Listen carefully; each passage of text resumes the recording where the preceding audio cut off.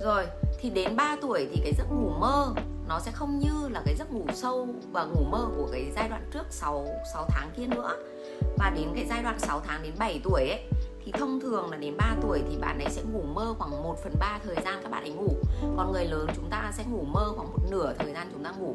Có những giấc mơ tỉnh dậy chúng ta vẫn nhớ nhưng có những giấc mơ chúng ta không nhớ.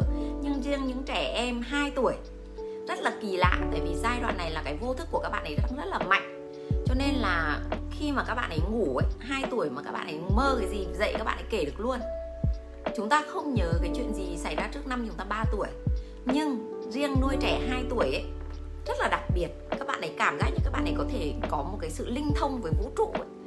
các bạn ấy nhớ và các bạn ấy có những cái biểu hiện và những cái giấc mơ nó rất là kỳ lạ và các bạn ấy có thể kể cho chúng ta nghe. Đấy. Và và hai tuổi thì chưa nói được nhưng mà chưa nói được sõi nhưng mà các bạn ấy nhớ nhớ được những gì các bạn ấy mơ cho nên nhiều bạn là mơ thấy xong các bạn ấy dậy khóc trong đêm. Mà các bạn rất là nhiều cái rất là thật, phản ứng rất là thật. Cái điều điều kiện ngủ nó rất là quan trọng. Và vì sao chúng ta phải quan tâm đến giấc ngủ mơ và giấc ngủ sâu? Tại vì giấc ngủ mơ thì nó là cái mắt của chúng ta, nó đào rất là nhanh. Và giấc ngủ sâu là có bốn giai đoạn. Có bốn giai đoạn mà chúng ta phải nắm được là con chúng ta vì sao mà có những bạn đêm ngồi dậy khóc trong đêm. Có những bạn đi như là người mộng du, là vì các bạn ấy đang trong giai đoạn ngủ mơ hay là ngủ sâu. Vậy thì bây giờ huyền cứ tính, Huyền cứ tính là 8 giờ chúng ta cho con đi ngủ. Những em bé bắt đầu từ sơ sinh nhá. 8 giờ chúng ta cho đi ngủ vào 11 giờ đêm 11 giờ đêm là bữa ăn cuối cùng. Thì các bạn phải tính là 6 giờ ăn 8 giờ ăn, tức là hai cái bữa ăn dặm gần 11 giờ ăn là các bạn ấy có thể ngủ xuyên đêm. Vậy thì và sau sau 6 tháng mà không cần cái giấc 11 giờ đấy thì tuyệt vời đúng không ạ?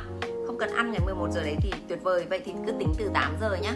Thông thường từ 8 giờ đến 10, 10 giờ rưỡi đêm thì là lúc này các bạn ấy đang rơi vào giấc ngủ sâu. Giấc ngủ sâu thì nó lại chia thành bốn giai đoạn. Thì giai đoạn này là giai đoạn nó đang nửa tỉnh nửa mơ. Nó đang nửa tỉnh nửa mơ tức là các bạn ấy chưa thực sự ngủ sâu mà các bạn ấy đang trong giai đoạn nửa tỉnh nửa mơ. Thì ở đây thì các bạn ấy sẽ dễ bật dậy khóc, các bạn ấy sẽ dễ đi lang thang, các bạn ấy dễ dễ bỏ đó. Và từ 11 giờ đêm đến khoảng tầm 3 giờ sáng là các bạn ấy ngủ sâu sâu hẳn ấy. Tức là ngủ, giấc ngủ sâu nó có bốn giai đoạn thì ban đầu nó chỉ là ba cái giai đoạn đầu tiên thôi.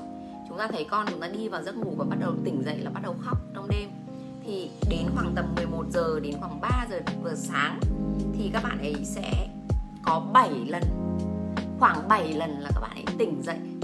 Các bạn ấy tỉnh dậy trong đêm hoặc là các bạn ấy ú ớ. Đấy, giai đoạn này là như vậy. Và từ 3 giờ đến 6 giờ, từ 3 giờ đến 6 giờ thì các bạn ấy ngủ rất là sâu. 3 giờ đến 5 giờ sáng 3 giờ đến 6 giờ ngủ rất là sâu. Thì các bạn phải hiểu rằng là 8 giờ đến khoảng tầm giờ 30 ấy, là cái giấc ngủ sâu nó bắt đầu. Thì giấc ngủ sâu nó chiếm nhiều thời gian cho nên các bạn ấy không bị bật dậy nhiều. Nhưng giai đoạn từ 11 giờ đến 3 giờ sáng là giai đoạn mà các bạn ấy xen kẽ cái giấc ngủ mơ rất là nhiều. Cho nên 3 giờ đến 11 giờ đêm đến 3 giờ sáng là cái quãng thời gian mà các bạn ấy dậy nhiều nhất. Còn chúng ta cho con đi ngủ chúng ta sẽ thấy là khoảng tầm từ 8 giờ đến 10 giờ ngủ không dậy mấy. Xong rồi 3 giờ đến 6, 5 giờ không dậy mấy. Nhưng riêng cái khoảng thời gian từ 10 rưỡi đến 3 giờ sáng là dậy rất nhiều. Và người ta đo là thông thường ấy, trung bình ấy, là các bạn ấy sẽ dậy khoảng 7 lần. Vì đó là lúc cái giấc ngủ mơ nó xuất hiện với tần suất nó dày dày đặc nhiều hơn. Thì là đây là cái giờ lại là cái giờ mà người lớn chúng ta ngủ sâu cho nên là chúng ta rất là căng thẳng đúng không mọi người? Thì nó cứ xen kẽ nhau như thế nó đảo nhau liên tục như thế. Nên nuôi con trong 10 tiếng này thì chúng ta thấy sướng nhất là ban đầu và kết thúc còn ở giữa là ác mộng đúng không ạ?